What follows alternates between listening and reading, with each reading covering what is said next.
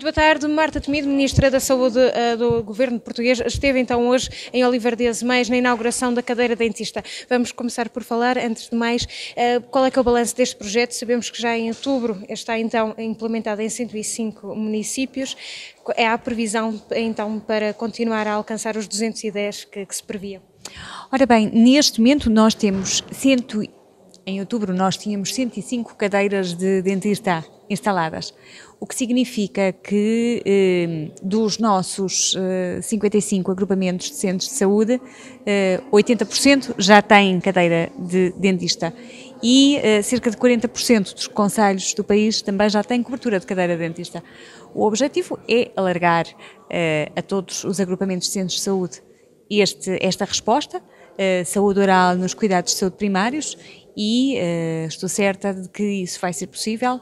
As autarquias têm-se envolvido de uma forma extraordinariamente generosa, como de resto foi também aqui o caso uh, da Câmara Municipal de Oliveira das Mais, e uh, o, o, Ministério da Saúde, as Administrações Regionais de Saúde, têm complementado aquilo que é essa generosidade inicial com aquilo que são os recursos humanos e os consumíveis. Isso tem possibilitado, de facto, que o Serviço Nacional de Saúde tenha também resposta numa área que antes não tinha, que é a saúde oral. Estes atendimentos das cadeiras de, de, dentista estavam inicialmente previstas para casos de maior gravidade e também de carência financeira mais acentuada. Este atendimento mantém-se ou já está mais generalizado? Está generalizado. Portanto, todos os utentes que sejam referenciados pelo médico de família uh, como carecendo desta resposta são atendidos. Esteve também em reunião aqui com as várias entidades da, da região. O que é que foi possível, uh, o que é que é possível desvendar desta conversa? Quais é que foram as preocupações também demonstradas? Foi possível trabalhar não só com o Sr. Presidente da Câmara de Oliveira das Mães, mas também com o Sr. Presidente da Câmara de São João da Madeira, uh, para onde nos deslocaremos agora de seguida para a inauguração de um outro equipamento, e com uh, o Sr. Diretor Executivo do Agrupamento de Centros de Saúde Aveiro Norte e com a sua equipa o Sr. Presidente da ARS do Norte, eh, todo um conjunto de preocupações e de projetos eh, que estão em desenvolvimento.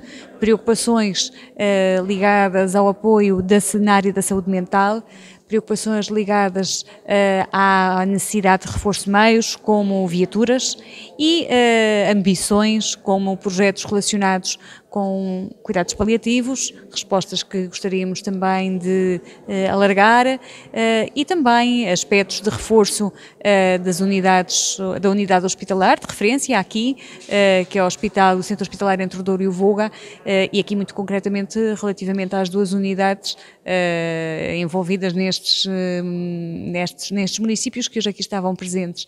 E aspectos relacionados, por exemplo, com a descentralização de competências para os municípios, um dos grandes desafios que se colocam uh, ao serviço público, uh, ao serviço à população no ano de 2020. Alguma novidade em concreto que já possa avançar aqui para o Hospital de São Miguel de, de Oliveira das Mães? Uh, não, o Hospital de São Miguel, o Centro Hospitalar dentro do Rio Voga, é um hospital com uma trajetória de sustentabilidade ao longo dos últimos anos que queremos continuar a reforçar.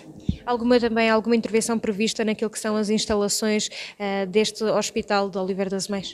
Bom, nós uh, estamos uh, preocupados com tudo aquilo que seja necessário reforçar, mas aquilo que neste momento eu diria que é uma grande prioridade é a questão do internamento de doentes mentais agudos neste hospital. É um dos poucos hospitais, um dos quatro do Serviço Nacional de Saúde que ainda não tem esta resposta.